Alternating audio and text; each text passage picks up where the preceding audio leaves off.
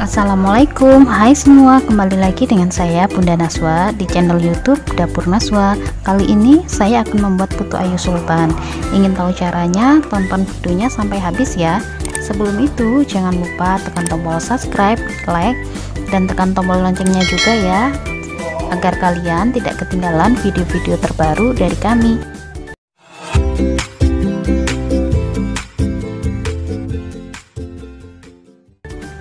Pertama, siapkan wadah, masukkan